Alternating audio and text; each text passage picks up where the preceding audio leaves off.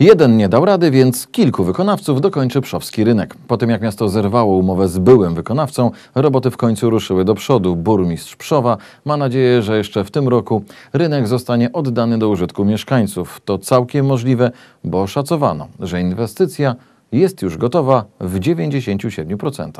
Po tym jak władze Pszowa zerwały umowę z wykonawcą, władzę nad pszowskim rynkiem znowu przejęło miasto. Te zdecydowało, że ostatnie 3% prac dokończy nie jedna, a kilka firm. Wtedy będziemy mogli nawet kilku wykonawcom z, z tak zwanej wolnej ręki, czyli trybu też przewidzianego przez, yy, przez zamówienia publiczne zlecić kolejnym wykonawcom, firmom branżowym dokończenie rzeczy takich jak elektryka, yy, czy na przykład ławki i kosze, czy dokończenie fontanny, którą też trzeba jeszcze dopracować i wtedy był, byłoby to najszybsze rozwiązanie, ponieważ konkretne firmy dostałyby konkretne e, zlecenia. Już to załatwiamy, na przykład wiemy już, że, że dokończenie zieleni to 20 tysięcy, bo jeszcze trzeba e, trochę uzupełnić trawniki, uzupełnić zieleń, posadzić drzewo duże, więc e, mamy to zinteresowane, wiemy co zrobić, tylko jesteśmy jeszcze uwiązani tym rozliczeniem z firmą, która właśnie została usunięta z placu budowy. Prace na rynku są już na ostatniej prostej, a koszt realizacji pozostałej części inwestycji nie przekracza 30 tysięcy euro. W związku z tym do wyłonienia firm, które dokończą remont rynku nie trzeba było uruchamiać drogi przetargowej. Można je było wybrać z tak zwanej wolnej ręki. Prace będą się odbywały przede wszystkim na Parku Jordanowskim. cały rynek, cały plac rynku został oddany do użytkowania